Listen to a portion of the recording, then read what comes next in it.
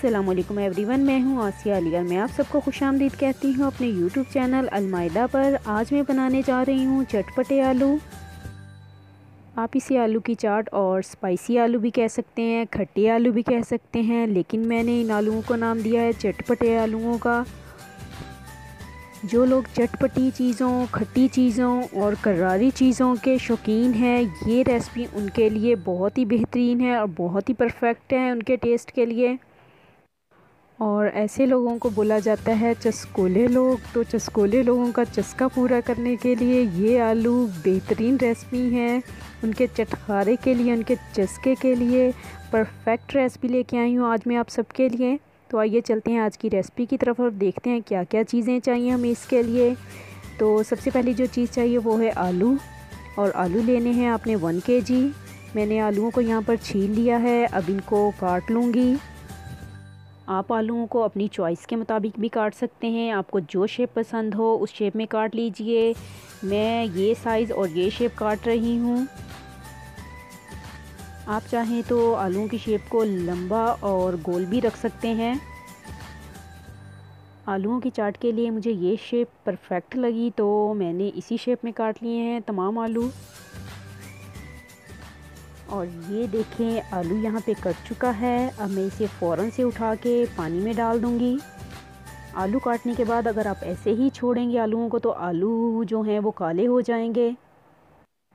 और इसी तरह से मैंने यहाँ पर तमाम आलूओं को काट लिया है।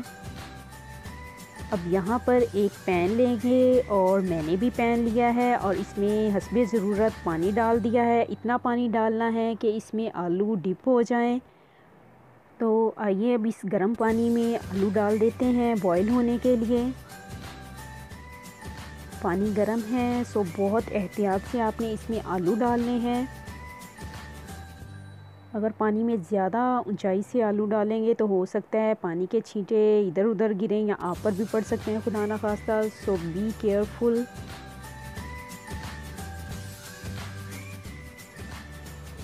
जी तो तकरीबन तमाम आलू मैंने इस पैन में डाल दिए हैं। अब इनके बॉयल होने का वेट करेंगे।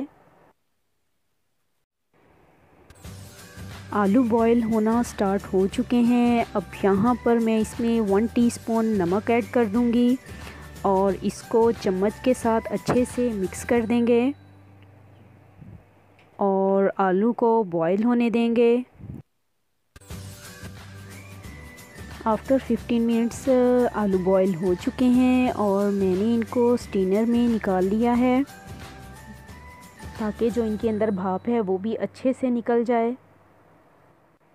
तो आइए अब चटपटे आलूओं के लिए स्पाइसेस देख लेते हैं कि हमें कौन कौन से स्पाइसेस चाहिए और कौन सी चीज़ें चाहिए इसका मसाला तैयार करने के लिए।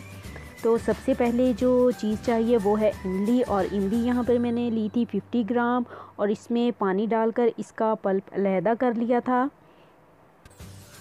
इमली के बाद जो चीज़ चाहिए वो है लहसुन अदरक का पेस्ट, जो कि चाहिए हमें वन टेबल स्पून और लहसुन अदरक के पेस्ट के बाद हमें चाहिए ज़ीरा। ज़ीरा लेना है साबुत और ज़ीरा चाहिए वन टेबल स्पून।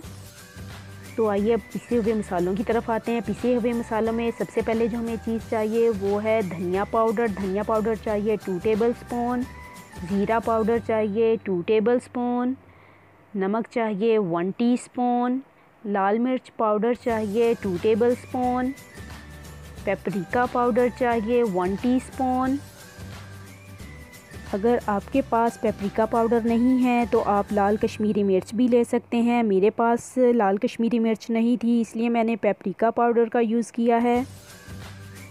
और चाट मसाला चाहिए टू टेबल स्पून आप अपनी ज़रूरत के मुताबिक भी डाल सकते हैं। जैसा आपको टेस्ट लेना है, आप उसी टेस्ट के मुताबिक डाल सकते हैं। तो ये तमाम स्पाइसेस आप अपने टेस्ट के मुताबिक डाल सकते हैं। मैं अपने टेस्ट के मुताबिक डाल रही हूँ। कुछ लोग तो बहुत ही स्पाइसी चीज़ें खाते हैं, कुछ स्पाइसी नहीं खाते, बहुत ही लाइट उनके स्पाइसेस होते हैं। इसीलिए मैंने आपको कहा है कि आप अपने टेस्ट के मुताबिक तमाम स्पाइसेस डाल सकते हैं। तो आइए चलते हैं, आज की रेसिपी की तैयारी स्टार्ट करते हैं।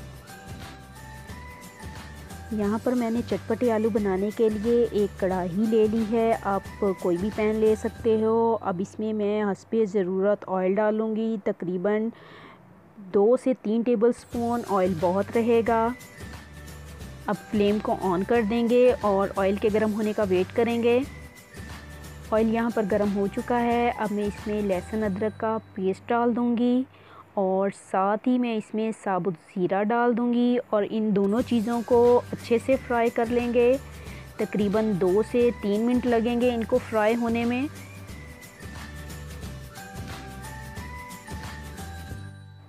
और ये देखें, यहाँ पर लहसुन अदरक का पेस्ट और ज़ीरा फ्राई होना स्टार्ट हो चुका है और बहुत हल्की हल्की सी, ज़बरदस्त सी खुशबू आना स्टार्ट हो चुकी है।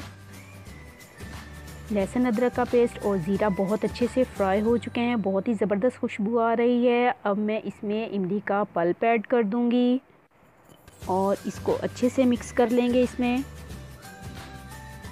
इमली के पल्प को अच्छे से मिक्स करने के बाद इसमें तमाम स्पाइसेस ऐड कर देंगे। और इन स्पाइसेस को भी बहुत अच्छे से मिक्स कर लेना है।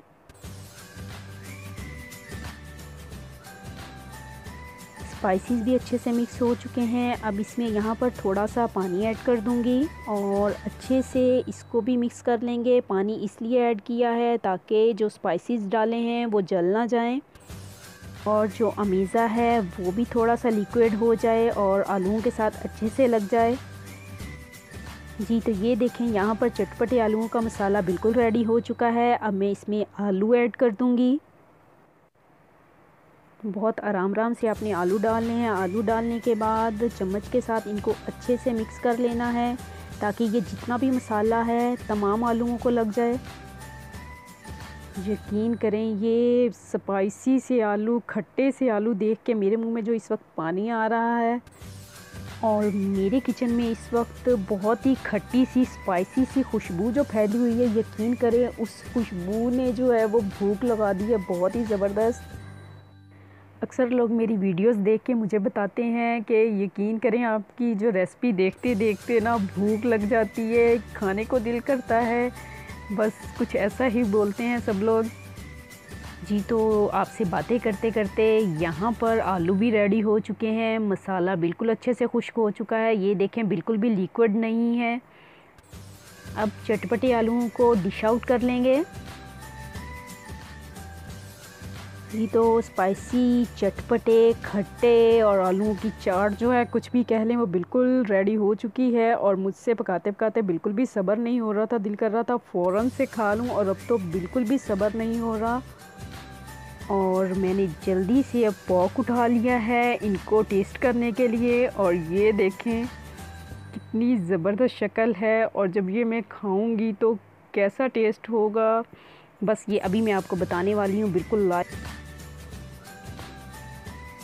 वाह ज़बरदस्त, बहुत ही ज़बरदस्त, बहुत ही टेस्टी, बहुत ही करारे, बहुत ही चटपटे, जितनी भी तारीफ़ करूँ इन आलूओं की, उतनी कम है।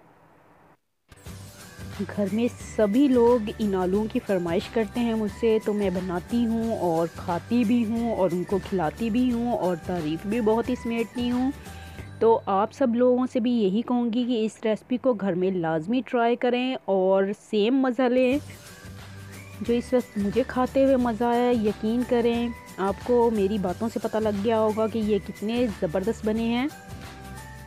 जी तो आज की हमारी रेसिपी आपको कैसी लगी कमेंट करके बताइएगा और इस वीडियो को लाइक कीजिएगा, शेयर कीजिएगा और मेरे चैनल को सब्सक्राइब कीजिएगा। जो भी नए आने वाले हैं वो तो लाजमी सब्सक्राइब करें और बेल आइकन के बटन को ऑल पर करें ताकि आने वाली मेरी तमाम वीडियोस के नोटिफिकेशन आपको मिल सके, ऐसी आप मेरी तमाम वीडियोस देख सको। और इसी के साथ मैं इजाज़त चाहूँगी। टेक केयर एंड अल्लाह हाफिज़।